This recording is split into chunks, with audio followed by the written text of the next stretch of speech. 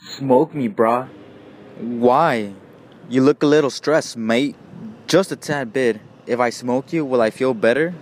Yeah, see for yourself.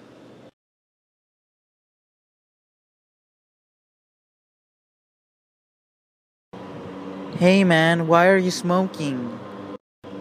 I'm a bit stressed. But why? Cigarettes are bad for you. Hey, shut up, kid. I'm serious, smoking is bad for you. Beat it, boy. Leave me alone.